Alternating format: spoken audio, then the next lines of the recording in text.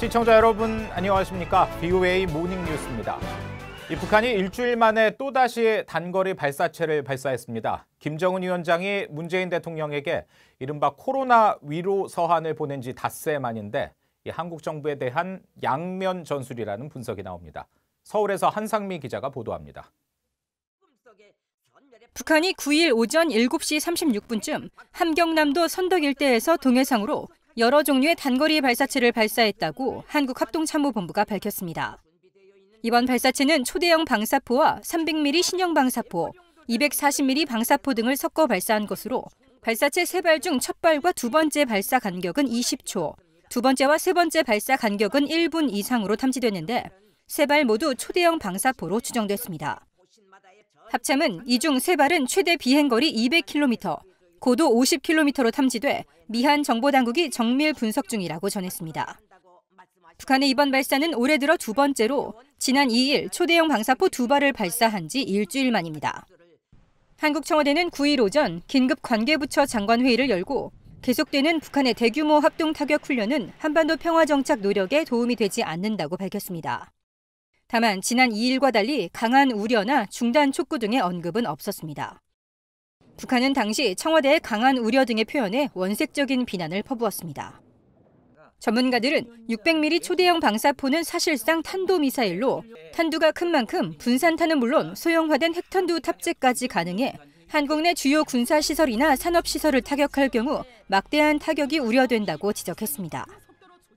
우리의 주요 군사시설뿐만 아니라 산업시설이 대단히 치명적인 영향 이 뭐랄까 파괴력을 갖고 있다는 거죠. 근데 이런 600mm 정도 되는 것들이 떨어지게 되면 뭐 원자력 발전소라든가 또뭐 정유시설이나 이런 것들이 하나 떨어졌을 때 어, 미사일 방어 시스템을 피해서 정확히 떨어질 수 있다는 이런 것을 다 갖췄다는 미사일과 유사를 갖췄다는 점에서 대단히 좀 어, 위협적이고 어, 우려스러운 어, 미사일로 봐야 되겠죠.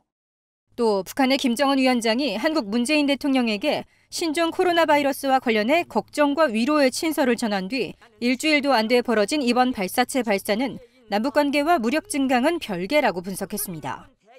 남북 정상이 친서를 주고받았지만 또다시 도발을 재개해 한국에게 강압적 태도의 양면 전술을 보이고 있다는 겁니다. 북한이 지금 여태까지 시험한 이 무기 체계는 사실 미국을 겨냥한 것이 아니라 한국을 겨냥한 것이고 말씀드린 것처럼 그만큼 우리가 막기가 힘든 우리로서는 굉장히 위협이 되는 건데 북한은 우리한테 위협을 가하면서 또 다른 쪽에서는 대화의 그런 어, 약간의 우호적인 그런 모습을 보이는 이른바 양면으로 지금 한국을 다루고 있다. 박 교수는 또 북한은 미국에게 자신들의 존재감을 알리고 필요할 경우 레드라인을 넘을 수 있다는 점을 암시한 것으로도 볼 수 있다고 말했습니다. 전문가들은 북한의 이 같은 도발이 신종 코로나 바이러스로 어려운 가운데 대내 결속을 위해 긴장을 고조시키는 효과도 있다고 말했습니다. 서울에서 VOA 뉴스 한상미입니다. 미 국무부는 일주일 만에 또다시 발사체를 발사한 북한의 도발을 피하고 비핵화 협상에 복귀하라고 거듭 요구했습니다. 국무부 대변인실 관계자는 9일 BOA에 북한의 단거리 발사체 발사와 관련해 우리는 관련 보도를 인지하고 있으며 현재 상황을 평가하고 있다고 밝혔습니다. 그러면서 북한이 도발을 피하고 유엔 안보리 결의에 따른 의무를 준수하며 완전한 비핵화를 달성하는 데 있어 그들의 역할을 하기 위해 지속적이고 실질적인 협상으로 돌아오기를 계속 촉구한다고 말했습니다. 국무부는 앞서 지난 2일 북한의 발사체 발사 당시에도 북한의 도발 자제와 비핵화 협상 복귀를 촉구한 바 있습니다. 이처럼 북한이 초대형 방사포를 거듭 시험하며 한국과 미군 기지에 대한 공격 역량을 키우고 있다고 미국의 미사일 전문가가 지적했습니다. 특히 탄저균 등 생화학 무기가 장착된 방사포로 한국을 공격할 수 있고 고체 연료 기술을 대륙간 탄도미사일에 적용해 미국을 위협할 수 있다고 주장했습니다. 조상진 기자가 전해드립니다. 이언 윌리엄스 전략국제문제연구소 미사일 방어 프로젝트 부국장은 7일 VOA에 북한의 지난 2일 방사포 발사는 북한이 올해도 공백 없이 미사일 시험을 이어나갈 것임을 시사하는 것이라고 밝혔습니다. 특히 연발 간격이 지난해 11월 발사 때보다 10초 단축된 20초를 기록했다며 집중 포화를 퍼부을 수 있는 기술 진전과 함께 고체 연료 등 발사 기술을 크게 향상시키고 있다고 진단했습니다. It does give them a base to then scale that up to longer range missiles. I think that, you know, for the United States anyway, the real nightmare scenario is for them to, you know, eventually get to a solid fuel 윌리엄스 부국장은 또 북한이 초대형 방사포에 생화학 무기를 탑재할 경우 한국의 주요 도시와 주한 미군 기지 등에 큰 피해를 입힐 수 있다며 이 경우 방사포에 굳이 핵무기를 탑재하지 않아도 충분한 위협이 될 것이라고 우려했습니다. One of the real nightmare scenarios that the Pentagon has considered is North Korea were to to use anthrax to target places like um, Busan and the ports right there, the places where U.S. forces would be needing to use to reinforce the peninsula. That was just like a, an envelope of that stuff. And they shut down that building for months, right, cleaning it, 윌리엄스 부국장은 북한의 계속되는 미사일 발사 시험 양상으로 볼 때 고체 연료 엔진을 대륙간 탄도 미사일에 적용시킬 가능성이 높은 것으로 내다봤습니다.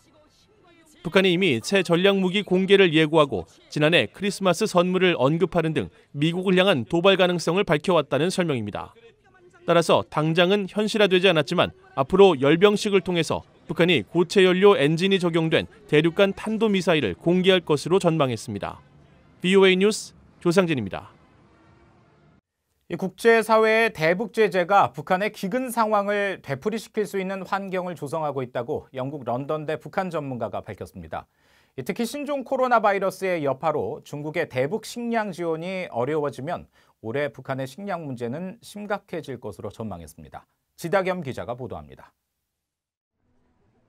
영국 런던 대학교 동양 아프리카 대학 헤이즐 스미스 교수는 지난 5일 조지 워싱턴대에서 열린 강연에서 유엔 안보리의 대북 제재가 1990년대 중반 고난의 행군 사태를 발생한 환경을 다시 만들고 있다고 지적했습니다. So what UN sanctions have done is to reproduce the conditions uh, that caused the famine in the 1990s.